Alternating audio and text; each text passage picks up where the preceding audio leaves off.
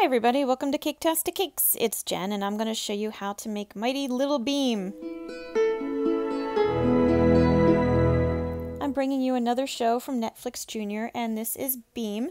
And I'm going to start by making his little baby body here. I took a nice kind of uh, beigey, coppery color and I made a big, you know, torso shape as you saw and made two cuts to separate his arms because he doesn't wear a shirt and I'm not good at hiding seams, I decided to make his arms and his belly and everything all one piece rather than separate pieces and put them together.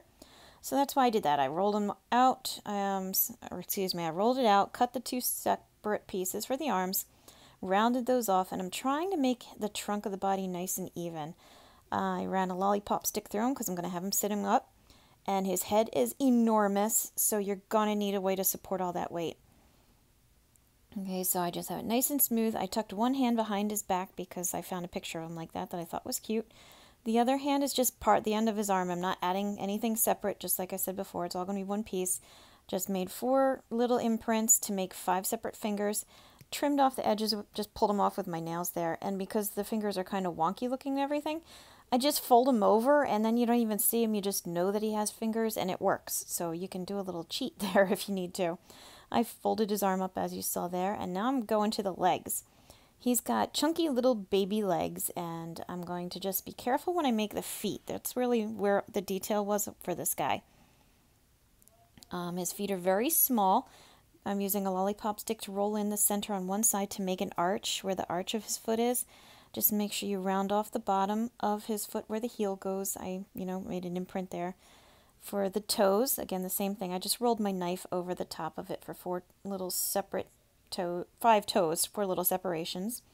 And I'm going to use, you're going to see right here, I'm going to use the back of my paintbrush to kind of separate the toes from the, the ball of his foot to make it a little more detailed. And with the rounded heel, make sure you have a little arch there and keep it kind of skinny and very small because for some reason he's got very teeny tiny little feet and a big, thick, chunky leg, and you've got a nice little baby leg. And when you put it up against the body like that, it starts to look like I'm making a doll. it's kind of creepy. But I guess that's the effect we're going for. He has a, you know, kind of a baby doll looking thing. Okay, so a little bit of gum paste. You saw I cut it at an angle so it can go right onto the side of him. And I have the leg and I'm letting it kind of curve inward a little bit because little babies tend to be bow-legged a bit. Okay, same thing on the other side. Just take your one piece where it's tapered down at the end, bend it over to create the foot, Use your knife blade to make the separation for the toes and then make the foot really small. Separate the toes with the lollipop stick. You know, keep it nice and rounded off at the heel. Roll in the edge for the arch. Keep it nice and skinny, nice and small. Leave the leg nice and fat. He's got he's got nice thick legs there. And that's it. So it's the legs really aren't hard, but as you can see, it kind of really starts to all come together already. It looks like I stripped down a baby doll. I don't know. I just really was impressed with myself with these legs here, as, as you can probably tell. The hand, I did put like no real effort into it. Was in the pictures and everything. They don't. He doesn't have a wrist or anything, and his fingers just kind of come up out the end of his hands. But his feet, I noticed, were rather detailed. Okay, here's his little diaper. He's got a little orange diaper. I just rolled out some gum paste, nice and thin trimmed off the top so it's flat. And again, there's no detail to his diaper either. It is just a single piece of cloth. There's no seams, there's no cuts or anything, so that's all I'm doing. I made a circle cut there and trimmed out the excess in order to go around his leg. And I'm using the knife just to make marks to where it's going to fold into the body. Again, if you're good at, you know, hiding seams, then you can add the arms on later, and this part would be so much easier. But because I am not good at it, I have to work around everything that's already attached. So that's why I'm making all these crazy little cuts and everything to get this little diaper on him. So I have it going around the leg, the one leg, back over his hip, his left hip as you see, and then I'm using my ball tool there to just kind of spread the gum paste to fill in his the cracks around the front of his legs and under his fist there. I'm using a poking tool, a veining tool, to make his little belly button because that does show.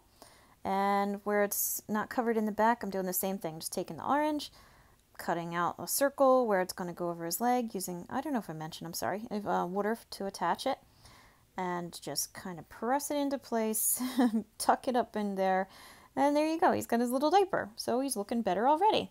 Now we're going to get to his head, his giant, enormous head.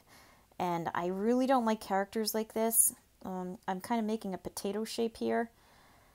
And I'm using my fingers and the ball tool to make imprints for his eyes. His eyes, his nose, and his mouth are set very, very low on his face. He has an enormous head compared to his face, and his eyes are huge as well. And the thing I was saying, I don't like characters like this. I don't like characters that have enormous heads. Like a lot of the Disney, the preschool ones, they all have these melons on them. And they look super cute when you're drawing them, but when you're trying to carve them or sculpt them, you have an enormous amount of weight on top of a small body. So when you're making this, guys, you're going to have to let that body sit overnight. You can't attach the head to it while it's still wet, or you're just going to smush everything. It will not work.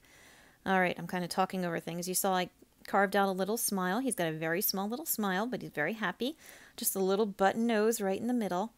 I'm using some white to fill in his eyes, and his eyes are flat along the bottom, and then they go up and over at the top kind of like an arch or, you know, a doorway, something like that. So making sure it goes up on the sides, flat across the bottom, and nice big curve at the top, and make sure the eyes are huge. okay, I'm filling in the mouth. I made um, just a little piece of black just to kind of fill it in, make it look a little cleaner, a little nicer and neater inside. I'm going to make his little teeth because he has his two bottom teeth that came in, and all you moms out there know those two bottom teeth. I'm just rolling out some white nice and thin, cut a little tiny rectangle, and just place it on the bottom of his, in the inside of his mouth there. All right, I'm using whatever this sort of ball tool is called, and I'm making indentations in his eyes. That's going to be where the irises sit. This is a bright copper color I'm using. And I'm just filling in the hole. The irises and pupils take up a good amount of the eyes. They're not very small. You know, they cover a lot of the white, maybe half of it, I'd say, in total. Okay, so be generous with them. They don't have to be too small. Little black pupils in the middle. And then his eyes have an outline of black around the top half. Okay, so make it nice and thin on each end, a little thicker in the middle, and wrap it around the top of each eye nice and high. And um, just, yeah, connect it down so it goes down toward the center to the middle length of the eye. Okay, this is his hair. I probably should have used a darker color, so if you guys have a brown that you can mix with some black maybe, you'll get a better color out of it, but I don't know, I still thought it worked out. I just, as you saw, had a kind of a lumpy circle, and I folded it over one side of his head, kind of wrap it around. You see how I pinched in where his cheeks are? It kind of wraps around into there and then covers the back. I did it on each side, and you want the top of his head to be a little flattened off. So you see the hair is a little thicker before it comes off the top and then down the side. I did that on purpose to try to square off the top of his head a bit. Um, because of the way the circles came together, there's kind of a wedge there, so that's why I'm trimming this piece so that it comes together as a, in a point. It'll fill it all in. And this will be kind of like the fringe that comes out the front of his hair and, and curls over a little bit. And I discovered, I didn't know that um, this Mighty Little Bheem character is actually a pretty popular character, that there's been a lot of spin offs at different ages and everything. So I guess Netflix was getting in on the action. And it's a cute little show. they don't talk, though, so that kind of threw me off the first time I watched it. It's just like little grunts and pointing and that kind of thing. So it's a very simple little show. All right, so even with the little fringe, he already is coming together very nicely. He's less creepy, Kewpie doll looking. I made a little bit of a part you can see right there with my knife blade. I'm just adding some details of hair, not pressing it through all the way, just making some lines and some marks just to kind of make his hair look nicer. You can see I'm not the best with matching up the seams, but that's okay because you guys out there are probably better. And you'll do a better job than me anyway, so it's all good, right? Now his eyebrows are little teeny tiny. They're just little elongated teardrops, basically, and they sit super high on his forehead. They're the same color brown. This is his little mark in the center of his forehead. It is actually a burgundy color. It's hard to see, but it is uh, colored. And it's shaped kind of like a elongated teardrop, too. The top of it centers about between the eyebrows, so just watch your placement there. This is his necklace that he wears. I use a brown edible food coloring marker. And I just cut out a little piece of brown out of gum paste for the medallion around his neck. And you can see I also put it on his wrist. I used the brown marker to color a band around his wrist, and I realized I made a mistake. It's not supposed to be there. It's actually supposed to be on his arm, on his upper arm. So you're going to see me put it there. And then I'm going to be like, oh, shoot, that doesn't go there. It goes here. You see what I did? If you're using food coloring markers, it comes off real easy. Just wet your paintbrush and just start mopping over it and it'll clean right up. So it's not a big deal and it comes right off. You just get a paper towel to suck up all the water and it'll dry and it'll be just fine. So don't worry about that kind of thing. His ears are just balls of the same color beige and, tan that I used before. Press down on one side to cup it out like a letter C. Make them real small and low on his cheeks. You see where the hairline is, and that's where I put them. I'm using some brown marker again around his eyes just to kind of wet it out and make them a little darker. I'm using just water on the paintbrush to spread the color around a little bit, make them wetter and shiny. I went over the pupils as well because, you know, why not, right? Make them a little, a little more glassy looking. Little dot of white on each eye for a little highlight, and there you go. Now, like I said, let it sit overnight. Both these things have to sit overnight, okay? Do not rush it.